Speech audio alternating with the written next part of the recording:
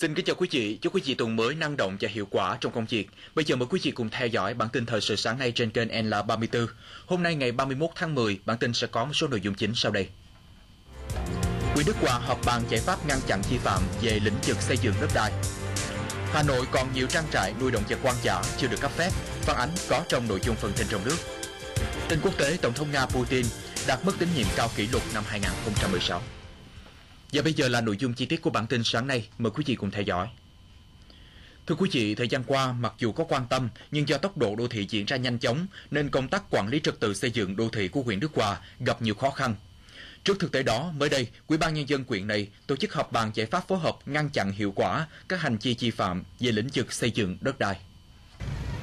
Tình trạng các công trình xây dựng không phép, sai phép, xây dựng trên đất nông nghiệp, lấn chiếm lòng lề đường, hành lang an toàn giao thông vẫn còn tồn tại khá nhiều trên địa bàn huyện Đức Hòa.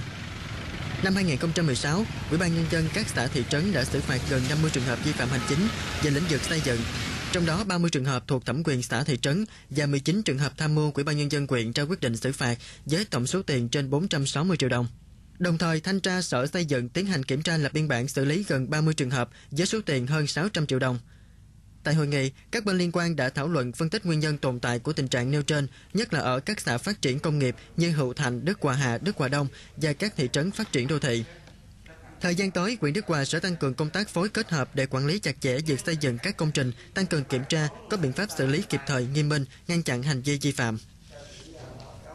Ban quản lý dự án chuyển đổi nông nghiệp bền vững gọi tắt là VNSAT tỉnh Long An phối hợp với Ủy ban nhân dân thị xã Kiến Tường tổ chức hội thảo truyền thông về kết quả thực hiện dự án chuyển đổi nông nghiệp bền vững tại tỉnh Long An năm 2016.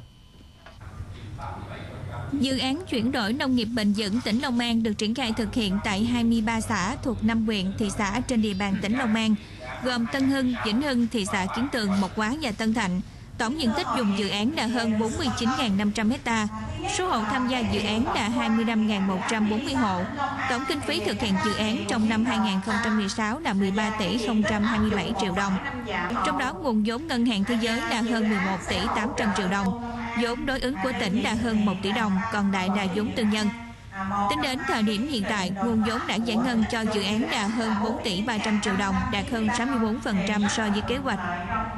Thì cái mục tiêu của dự án là để mà nâng cao tập quấn, chuyển giao à, khoa học kỹ thuật để mà nâng cao cái trình độ sản xuất của bà con nông dân về cái kỹ thuật ba giảm ba tăng cũng như là một phẩy năm giảm. À, cái thứ hai nữa là sẽ củng cố xây dựng các cái hợp tác xã để mà sản xuất à, tập trung tạo nên một cái sản phẩm hàng hóa đạt được cái chất lượng tốt à, nhằm tham gia để mà à, trong cái hoạt động mà mua bán như là xuất khẩu nhằm nâng cao cái giá trị sản phẩm nông nghiệp của cái vùng đồng bằng sông Cửu Long mà trong đó cũng như là cụ thể là của tỉnh Long An à, trên cây trồng cụ thể là cây lúa. À, qua những cái buổi tập huấn như vậy thì nó sẽ giúp cho bà con nông dân nâng cao được cái trình độ à, sản xuất của mình cũng như là ý thức hơn trong cái việc mà à, bảo vệ cái môi trường và góp phần làm cho cái à, à cái môi trường của chúng ta à, ngày càng là tốt hơn cũng như là trong cái cộng đồng dân cư và nâng được cái ờ, cái thu nhập của bà con nông dân ngày càng nó được đời sống ngày càng tốt hơn. Để dự án thực sự mang lại hiệu quả, thời gian tới ngành nông nghiệp các huyện thị xã trong dự án cần phối hợp chặt chẽ cùng các xã phường, các ngành có liên quan để triển khai dự án góp phần phát triển nông nghiệp bền vững, tăng thu nhập cho nông dân, góp phần giúp cho ngành lúa gạo Việt Nam nói chung và tỉnh Long An nói riêng phát triển bền vững. Toàn quyền Vĩnh Hưng có 6 xã thực hiện dự án VNSAT với diện tích gần 3.800 ha và hơn 1.600 hộ tham gia. Ngoài ra, huyện này còn chọn 5.000 ha trong vùng lúa chất lượng cao để làm mô hình dùng sản xuất lúa ứng dụng công nghệ cao tại các xã Khánh Hưng, Hưng Điền A, Thái Bình Trung. Tại hội thảo, Ban Quản lý Dự án VNSAT tỉnh Long An đánh giá cao những kết quả đạt được trong năm 2016, đồng thời chỉ đạo các ngành tiếp tục phát huy, tháo gỡ hạn chế, tập trung vận động tuyên truyền, nhân rộng mô hình, thành lập hợp tác xã để thực hiện đạt hiệu quả hơn trong thời gian tới. Thưa quý vị, thời gian qua, việc tiếp tục đẩy mạnh học tập và làm theo tấm gương đạo đức Hồ Chí Minh đã tạo ra sức lan tỏa mạnh mẽ trong cộng đồng, góp phần nâng cao nhận thức của mỗi cán bộ đảng viên và các tầng lớp nhân dân. Tùy theo điều kiện tính chất công việc, mỗi người chọn cho mình cách học và làm theo lời bác khác nhau, nhưng đều hướng đến mục đích chung là vì lợi ích của cộng đồng. Và câu chuyện sau đây sẽ là một điển hình. Mời quý vị cùng theo dõi. Sinh ra và lớn lên tại một vùng quê nghèo ở xã Bãi Ngang của huyện Cần Duộc, cuộc sống còn nhiều khó khăn. Nhưng với bản tính cần cù chịu khó, ông Lâm Quang Đức chỉ thủ với công việc đóng tủ, bàn ghế cho người dân trong vùng. Mặc dù gia đình không phải khá giả, nhưng hưởng ứng việc học tập và làm theo tấm gương đạo đức Hồ Chí Minh, ông luôn gương mẫu tích cực tham gia với địa phương thực hiện tốt công tác xã hội từ thiện, dẫn động mạnh thường quân thăm và tặng quà, giúp đỡ cho những gia đình có hoàn cảnh đặc biệt khó khăn, hộ nghèo, người già neo đơn. Tôi ờ, có ờ, tài liệu ờ, của ở huyện có cho, tôi cũng làm theo gương của bác. À, bà con ở trong cái xã ấp mình còn quá nghèo nên tụi tôi thấy cái cái việc đó thì bây giờ mình còn uh, sức uh, tới đâu mình uh, cũng uh, làm uh, giúp đỡ cho bà con uh, ở trong số ấp rồi sau nữa đó thì uh, bà con mà tôi thấy là tôi tặng được một hai cái uh, ký gạo đó bà con mà nhận được của tôi đó thì bà con uh, mừng rỡ và cảm ơn uh, chúng tôi. Nên uh, tôi thấy vậy đó uh, tôi cũng uh, cố sức mà để nhín nhúc thời gian ở gia đình tôi đi làm à, những công tác từ thiện để giúp đỡ cho bà con nghèo ở trong ấp và xã của mình. Quân Tư về đây không có nhà có cửa gì cũng nhờ chú Tư giúp đỡ chú Đỉnh. lòng dạ của chú Tư cảm ơn chú Tư nhiều lắm. Không chỉ làm tốt công tác xã hội từ thiện, ông còn tích cực tham gia phong trào xây dựng xã văn hóa, nông thôn mới do địa phương phát động. Thì à, đối với à, chú Long Văn Đức thì à, ở ấp Đông Bình thì cũng không xa lạ gì. Với chú này thì tuy nhiên cái tuy gia đình chú không phải là khá giả gì, nhưng mà cái tinh thần của chú là về công tác xã hội cũng rất là tốt. Thì cộng với cái việc mà trong những năm qua thì học tập được cái tấm gương đạo đức của bác, thì chú càng tích cực hơn trong cái việc mà tham gia vận động về công tác xã hội. Chẳng hạn như vận động làm các cái tuyến đường giao thông liên xóm, ấp Ờ, rồi ờ, các cái tuyến đường mà khi mà bị xuống cấp thì chú cũng ờ, tranh thủ với chi bộ ban ấp đó thì cũng vận động rồi cái cũng xin đá rồi đổ để tạo giao thông đi lại cho bà con. Rồi bên cạnh đó thì chú cũng vận động bà con thân thuộc rồi cũng như bạn bè để xin rồi vận động cái cái, cái hỗ trợ cái tập vở cũng như là cái gạo rồi nhu yếu phẩm cũng như cấp thuốc cũng trên 400 gia đình ở bên đó thì chú cũng đã vận động của các nơi về để mà hỗ trợ giúp cho cái cái bà con nơi đó. Thì à, với cái uh, tinh thần của chú thì uh, tôi nghĩ rằng là uh, cũng đáng là là tuyên dương uh, để học tập. Với những đóng góp của mình nhiều năm qua, ông Lâm Quang Đức đã nhận được nhiều bằng khen, giấy khen của tỉnh huyện, xứng đáng là tấm gương tiêu biểu, điển hình trong tham gia phong trào học tập và làm theo tấm gương đạo đức Hồ Chí Minh.